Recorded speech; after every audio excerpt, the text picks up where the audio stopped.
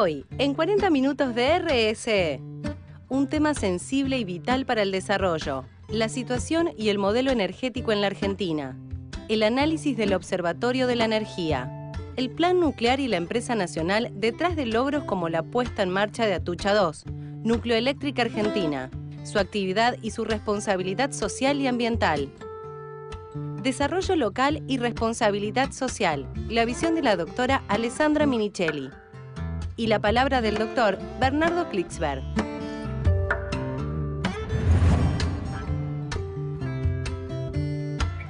En el programa de hoy vamos a hablar sobre cuál es la situación energética en la Argentina. ¿Es la que nos cuentan algunos medios o es una distinta y mucho menos difundida? Comenzamos a conocer esta realidad a través de la visión del Observatorio de la Energía, Tecnología e Infraestructura para el Desarrollo que presiden los especialistas Ricardo Dedico y Federico Bernal.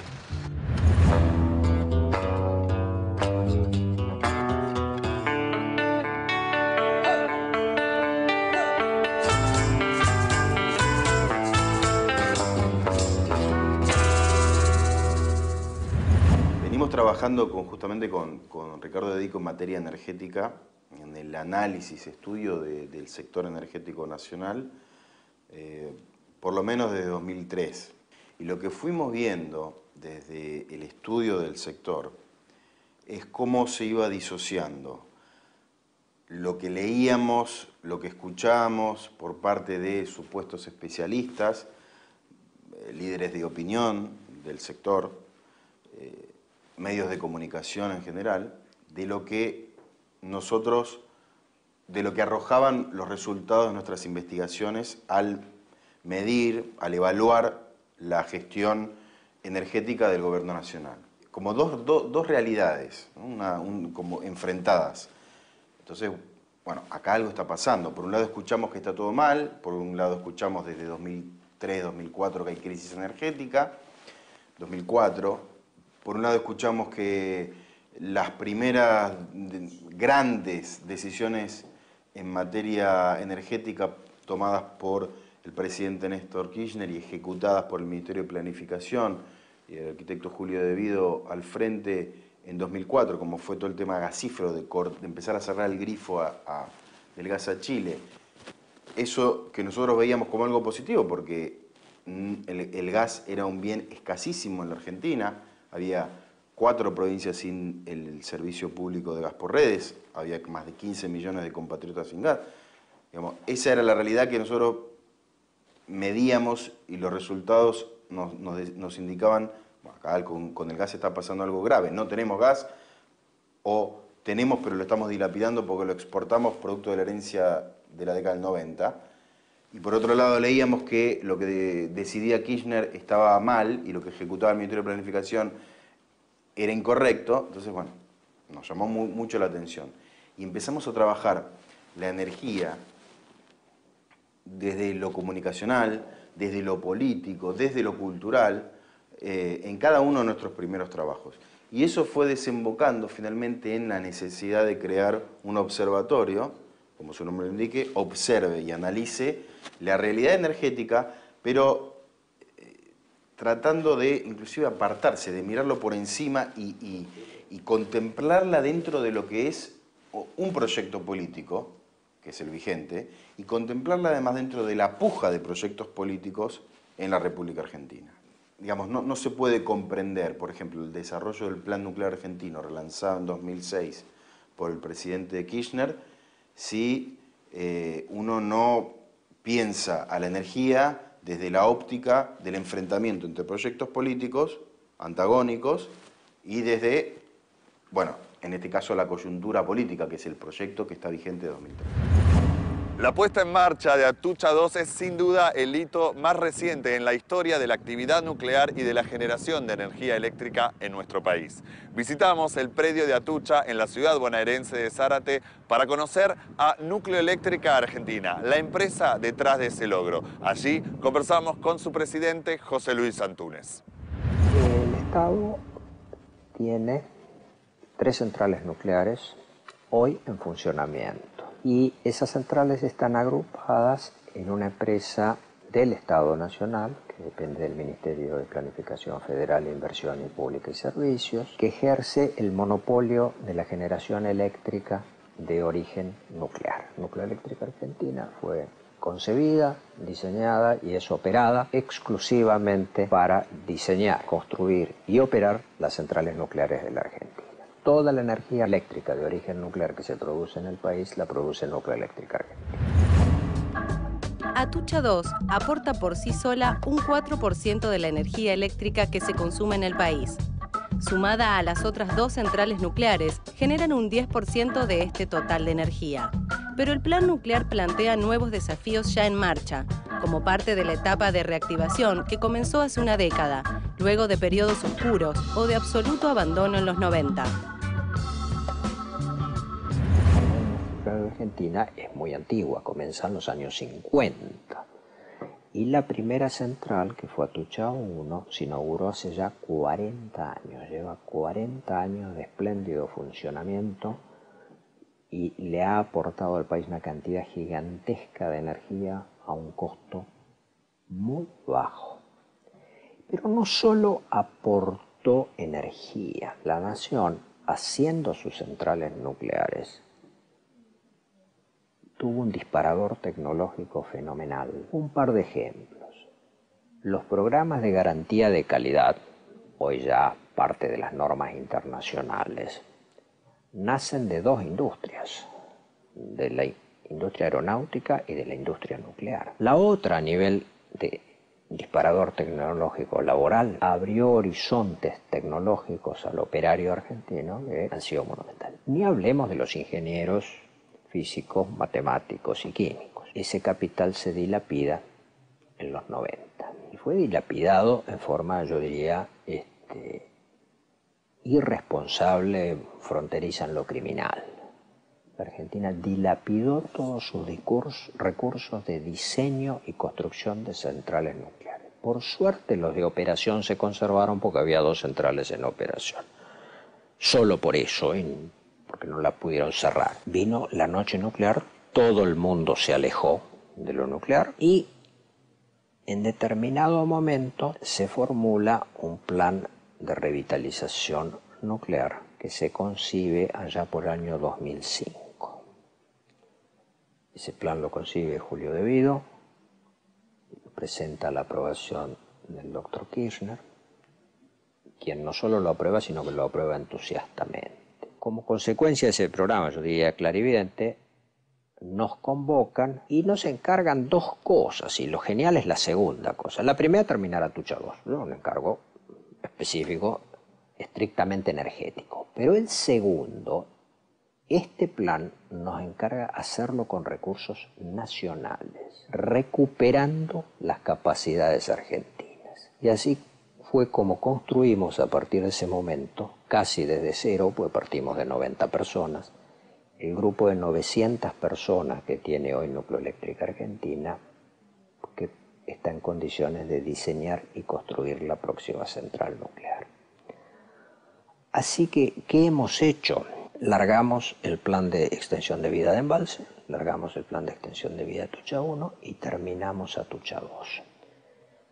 Y por otra parte, ¿qué tenemos por delante? La ley que confirmó ese plan en el año 2009 establece que se construyan dos centrales nucleares más en la Argentina, para lo cual ya contamos con todos los recursos necesarios. Así que como plan estratégico para la nación, nos hemos vuelto a colocar en el mejor nivel posible. Seguimos conociendo la realidad y el modelo energético en la Argentina a través del Observatorio de la Energía, Tecnología e Infraestructura para el Desarrollo. Porque es la energía irrigando desarrollo, obras de infraestructura, empleo, ciencia y tecnología. Y cuando hablamos de ciencia y tecnología, no estamos hablando de un tubito de ensayo, un laboratorio. Estamos hablando de verdaderas usinas formadoras de ingenieros, de científicos, de técnicos. Entonces, la concepción de una energía como motor del desarrollo, como lucha contra la pobreza, contra la desigualdad social, eh, que irrigue desde abajo empleo, que irrigue desde abajo ciencia y tecnología, eso es el modelo energético que estamos, por el que estamos atravesando desde 2003. Eh, entre sus más importantes exponentes está el Plan Nuclear Argentino, con todo lo que eso está irrigando de ciencia, de tecnología, eh, que es realmente espectacular. Hoy, en su sección, el doctor Bernardo Klicksberg se refiere a la energía como pilar del desarrollo. Sin energía hoy no hay desarrollo posible. Muy interesante la consigna de IPF en el nuevo periodo. La presidenta estatizó IPF, nombró a un argentino este, de gran nombradía internacional y joven este, trayéndolo del exterior a, su comando. La consigna es energía para todos.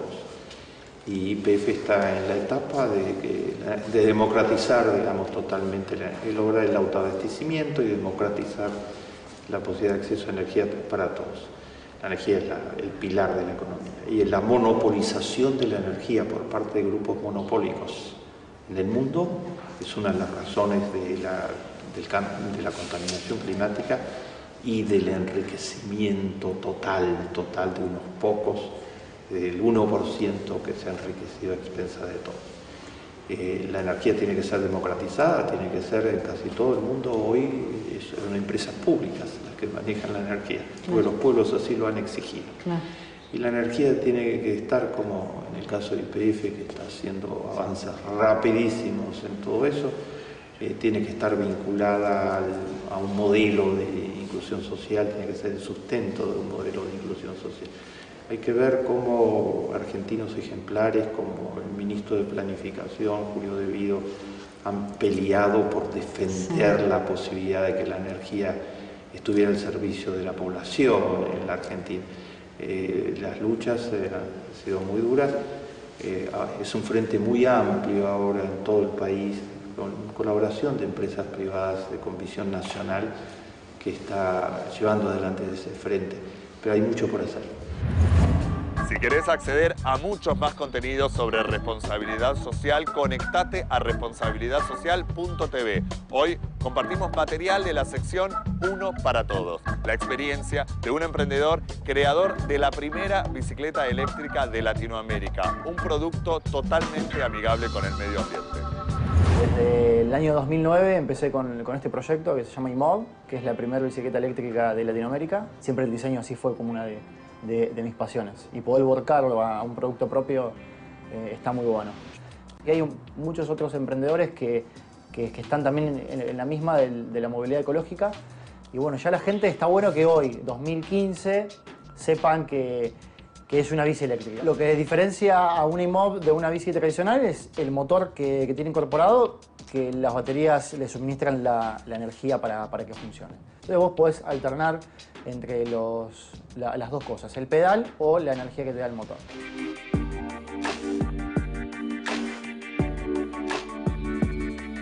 En 2013 se presenta por primera vez el producto al público. Quedamos finalistas eh, en Innovar y bueno, todos los que quedamos finalistas nos pusieron en el libro del año y nos eh, hicieron exponer en, en Tecnópolis. Así que bueno, fue un montón de gente fueron un montón de medios a esa super exposición de tecnología, innovación, inventos. Lo que permite innovar eh, fue, fue esto, ¿no? que, se muestre eh, por primera vez al público, que la gente lo pueda probar y, bueno, la verdad que sirve ese, ese tipo de concursos muchísimo de innovación.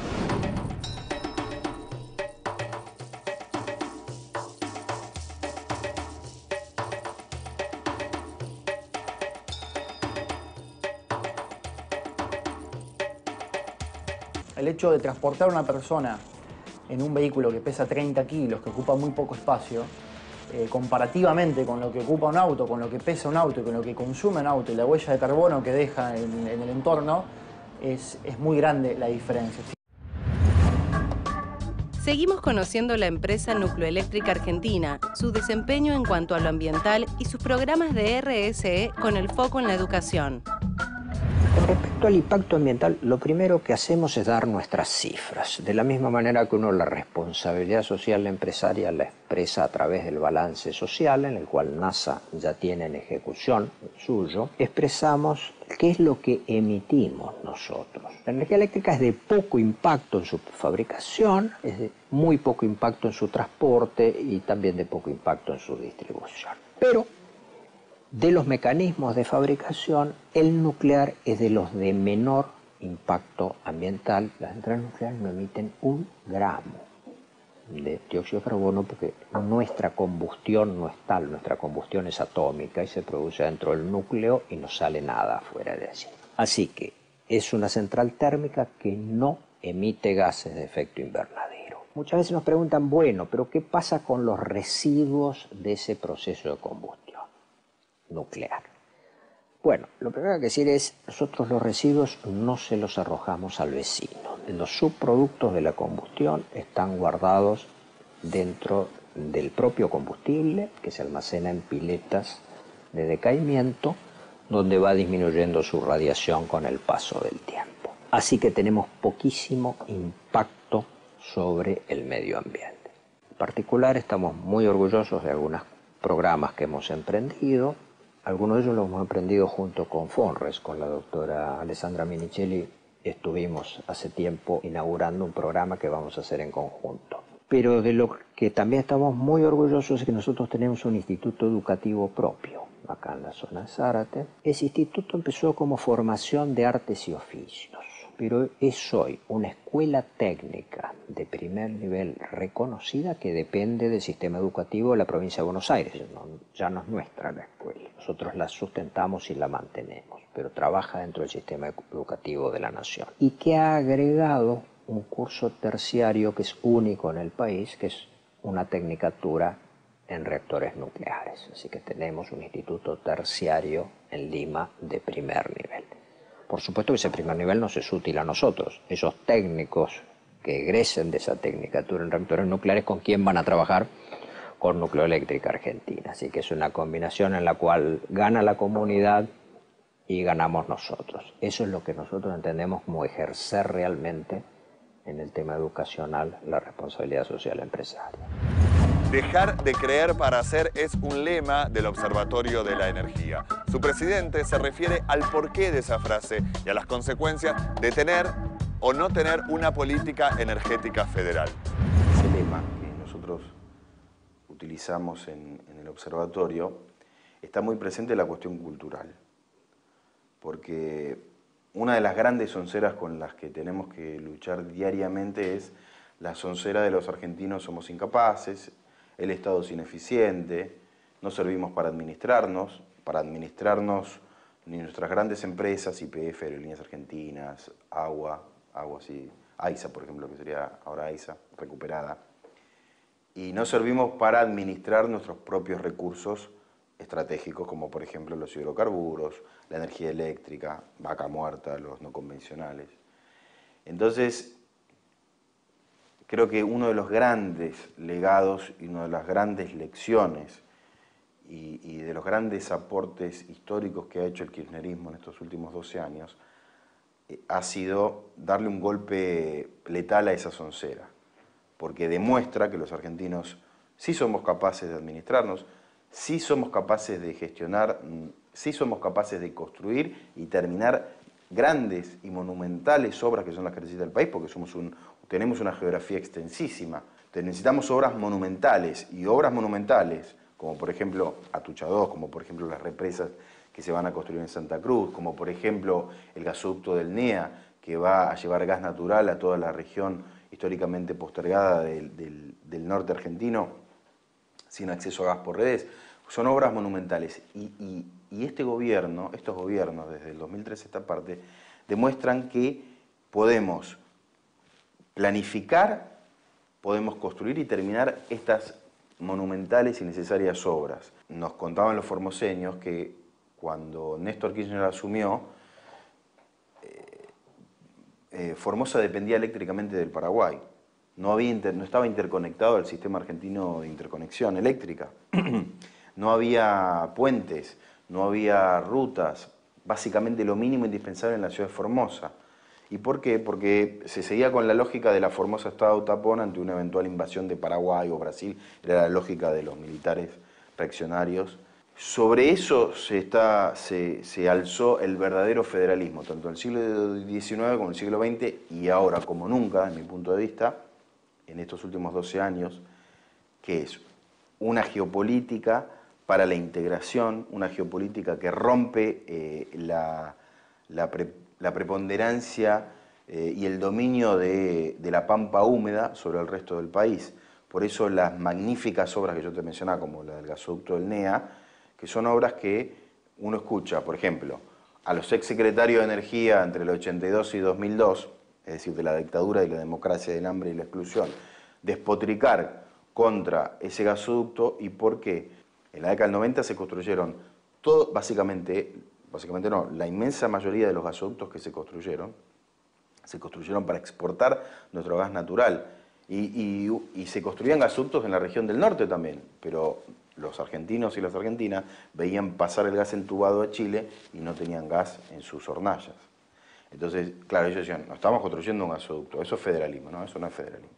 El federalismo para ser genuino tiene que ser un federalismo que irrigue el desarrollo, que irrigue el empleo, que irrigue la, interconexión de todas las regiones, eh, de todas las provincias entre sí, en pos de un camino y un destino común. ¿Cómo trabajar en responsabilidad social cuando el foco es el desarrollo local? Nos responde la doctora Alessandra Minichelli. Cuando hablamos de desarrollo local como meta de las acciones de responsabilidad social es porque efectivamente entendemos que el fin último de las acciones de responsabilidad social como de las políticas públicas tiene que poder ser el desarrollo de cada una de las localidades. Antes el desarrollo local o el desarrollo era planteado conceptualmente solo desde una mirada de o sobre un aspecto económico 100%, pero desarrollo local tiene que ver con una mirada mucho más integral, tiene que ver con que cada uno eh, pueda identificar en esto que nosotros hablamos también eh, de reconocer lo que es el plan estratégico territorial, que hoy es una plataforma bien clara en nuestro país, pero que debe poder encarnarse en cada uno de los ciudadanos y en cada uno de los actores de una sociedad, como para poder ver en términos de ordenamiento territorial, porque realmente el territorio importa e importa mucho, qué se necesita para mejorar las condiciones de vida, no es eh, crecer económicamente, qué necesita cada localidad en términos de buen vivir, ¿no? ¿Cómo, cómo estarían mejor económica, socialmente, ambientalmente, cada una de las localidades. Y para eso el trabajo que hay que darse es la identificación de políticas públicas activas en cada una de las localidades y la de responsabilidad social dialogada entre todos que pueda ser complementaria o convergente con la política pública y entonces sí naturalmente eh, el desarrollo local se apuntala y el desarrollo local es una meta. Ya salió Fonres RSE, revista mensual dedicada a la responsabilidad social empresaria. En este número, entrevista a Temple Grandin, la científica autista que desafió su condición, superar barreras para inspirar a otros. Además, voluntariado, la fuerza de la octava maravilla del mundo. La columna del doctor Bernardo Klicksberg y, como siempre, la mejor información sobre contenidos socialmente responsables. Fonres RSE, conseguila en kioscos. Suscribiéndote a nuestra página web www.fonres.com recibirás de regalo el pequeño diccionario de responsabilidad social de Force. Una de las áreas de trabajo del Observatorio de la Energía está vinculada a la información, ante la necesidad creciente de contar con una comunicación socialmente responsable, en particular en materia energética. Comunicar responsablemente no solamente tiene que ver con una cuestión de, de de comunicar los resultados a los que uno llega en, sus investigaciones, sean resultados malos, buenos, esperados o no. Cuando hablamos de la cuestión energética, eh, como por ejemplo eh, la cuestión del famoso aislamiento de la Argentina, ¿no? que se dice, la Argentina está aislada. Una manera de contestar es, eh, y de comunicar si efectivamente la Argentina está aislada o no, es diciendo, bueno, dando pruebas de por qué la Argentina no está aislada la cantidad de comercio exterior que tenemos, nuestros vínculos este, políticos, eh, la presencia de la Argentina en los foros internacionales, el G77, eh, el G8, eh, la ONU, lo que está pasando con los buitres en la ONU, donde se está llevando, donde se aceptó la propuesta argentina. eso indicaría que la Argentina no está aislada. Pero otra manera de comunicar responsablemente desde el interés nacional y en la batalla cultural, dando la batalla cultural, es a través de indicadores, como tiene la reacción de aislamiento, indicadores de integración. O sea, comunicar responsablemente, nosotros del observatorio creemos que tiene, para sintetizarte, creemos que tiene dos grandes pilares. Uno es ser genuinos en la investigación y en la exposición de los resultados y objetivos en la exposición de los resultados, pero hacerlo siempre desde el interés nacional, rompiendo la lógica del lenguaje y de los indicadores neoliberales que son los que, eh, lamentablemente al día de hoy, aunque cada vez menos, eh, son los que dominan aún la, esfera de la comunicación, eh, tanto académica como masiva, en la República Argentina. Si hay un sector clave para el desarrollo de una nación, es el de la energía. Por eso dedicamos el programa de hoy al modelo energético, a su visión federal de inclusión y equidad. Gracias una vez más por habernos acompañado.